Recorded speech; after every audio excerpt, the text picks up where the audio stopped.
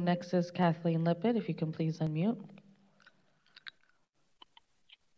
Thank you. Good afternoon. Thank you for letting me speak. Kathleen Lippett here. Uh, first, I wanted to say thank you to Councilmember Von Wilpert. It is rare that we hear someone probing and asking the right questions and really being cognizant of the potential risks to the city of, of failures to see the fine print in some of these leases. It has happened many times before, and blaming it on past council people seems to be uh, not not very productive.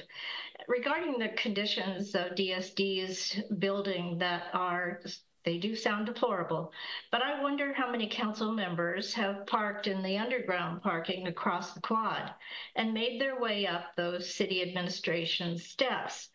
My husband parked there last week for jury duty, and I had previously been parking there for years, and he was appalled to realize that I had been going down there and going up the stairwell. He said it, the smell of urine was overpowering. The puddles of urine were everywhere.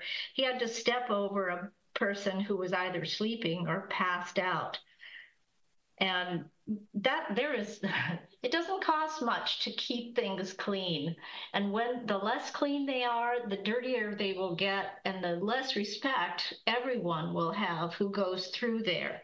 It is an unsafe situation and i hope that you will pay attention to that. Do the, the maintenance that should be required for that parking area and having to navigate that it, the uh, quad across the way urinating and defecating in public should be illegal.